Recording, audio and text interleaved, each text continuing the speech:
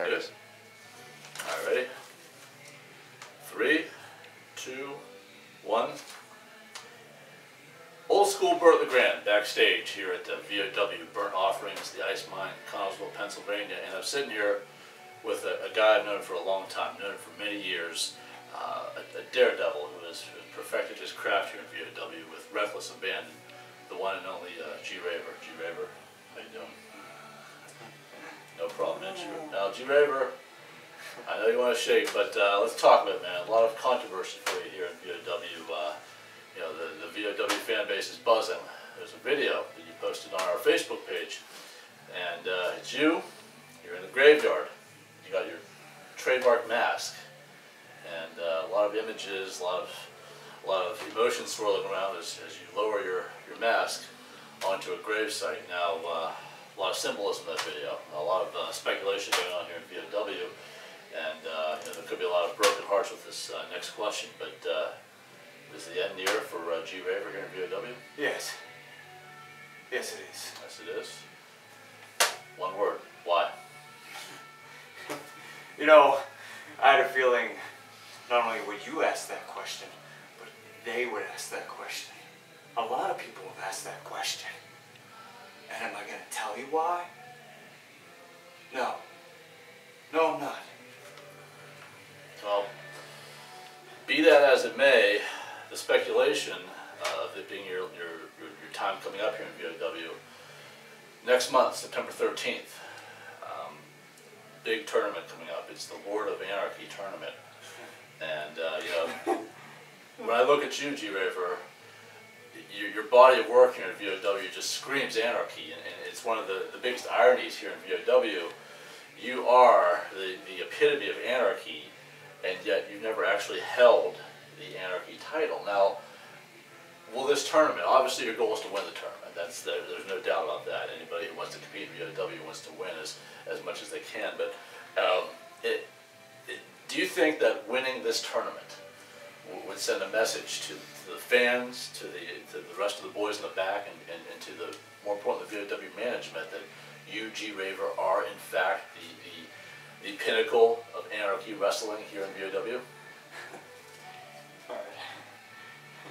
Before you keep talking, the first thing you said was symbolism, and and you said that there was speculation that that this was going to be it. There was. Speculation. There's no speculation. None. There isn't any speculation whatsoever.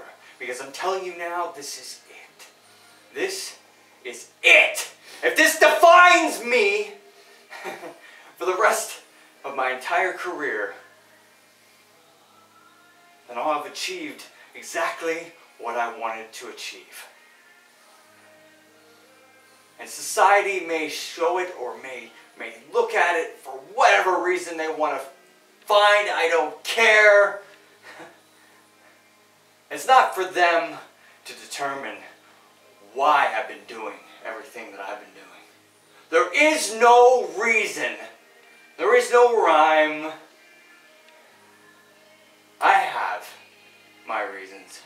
Just like an artist will paint with acrylics, just like an artist will paint with enamel, whatever they want.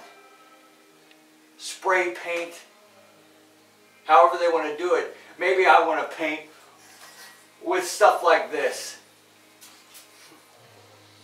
But the truth is, is finding some people that want to maybe express that in that way. And I'll tell you right now, in the VOW locker room, as you can clearly see, they've had to bring in, what, Sabu? Matt Tremont? Because no one else wants to do it. And right now you have an Anarchy champion that doesn't have any guts. Because he had an opportunity to face me, to show himself to why he's carrying that belt that he doesn't deserve to carry but he didn't want to show. didn't want to show.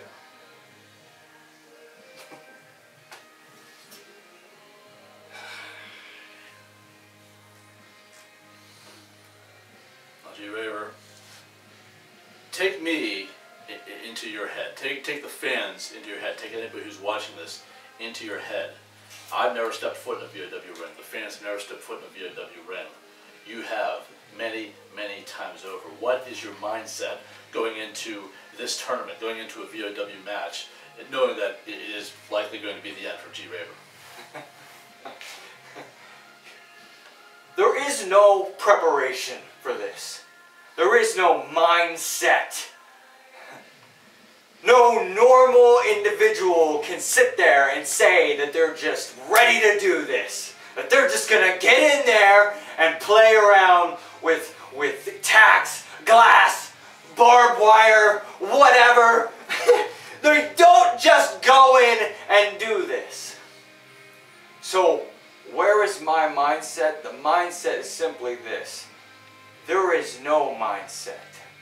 You either have to be that person, that individual who's willing to step in there and disregard their body, mind, and entire soul well being on this earth to perform in something like this.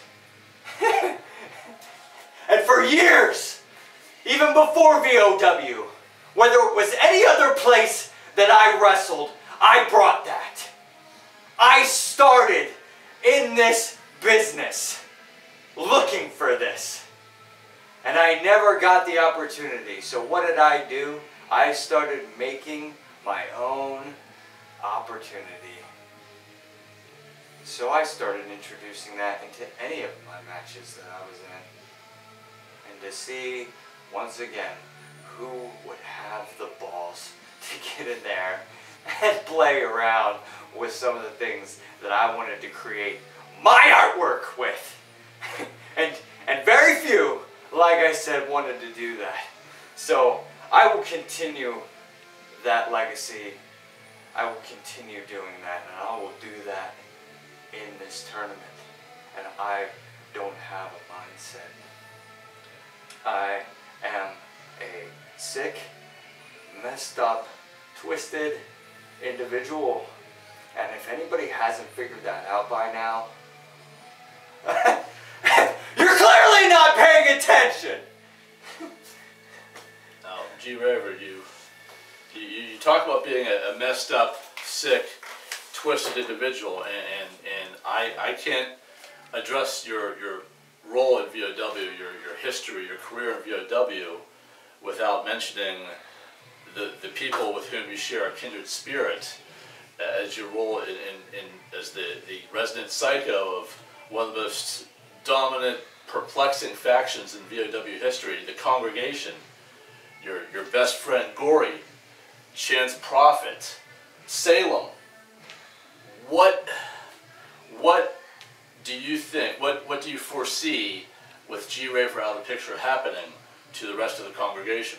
What what what what words do you have for them right now? Uh, the congregation is an assembly of like-minded people. Absolutely. Twisted, sick, no regard. We do what we want.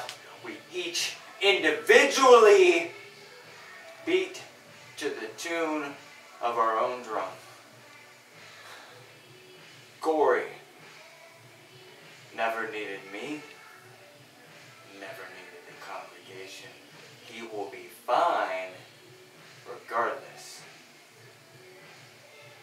Chance Prophet.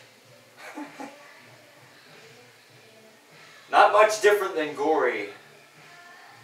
He runs the show, and, and he will be fine. he will be fine. Anybody else involved will be fine. Salem is right here.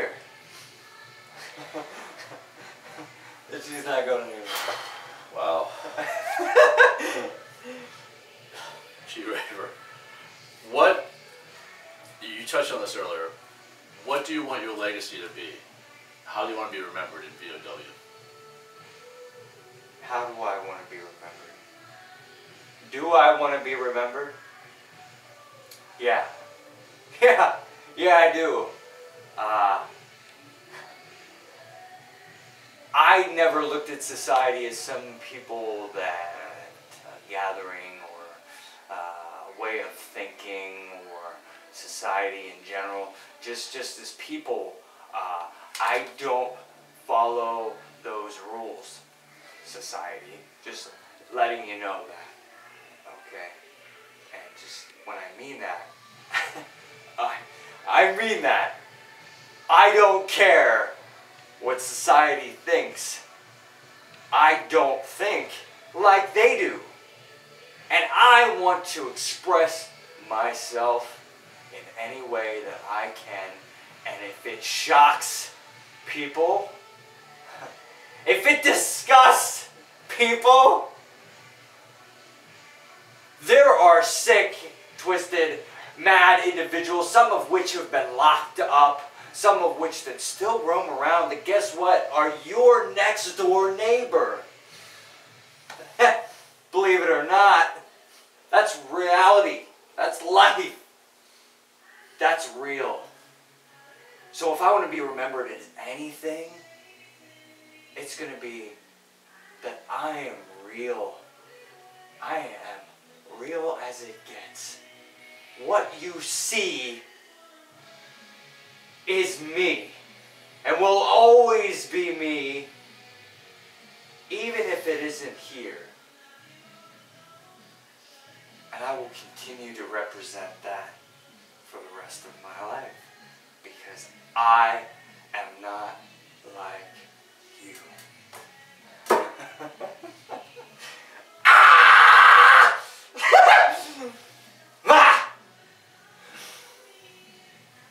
You have more questions? Just one. Uh, Final question. they say the wrestling business, which you're a part of, which I'm a part of, which many people are a part of, never say never. G Raver, is there a chance that we'll see you back in VOW sometime down the road?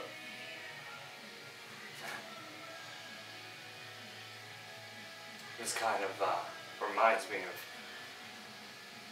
your first question and then your second question. Which, both of them,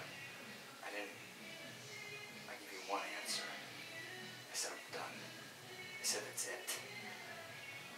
So if I don't come out, I'm, I'm bringing everything that I have to this.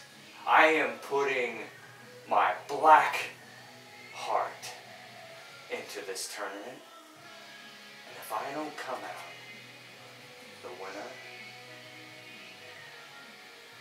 I will accept no other way. I will win this anarchy tournament.